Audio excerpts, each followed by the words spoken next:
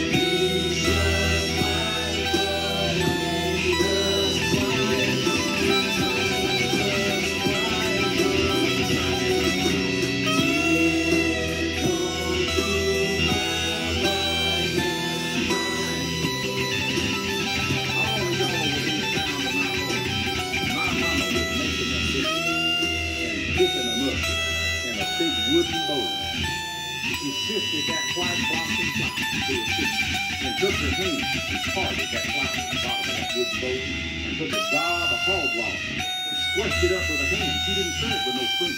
She squished it up with her hand. Straight out the top, straight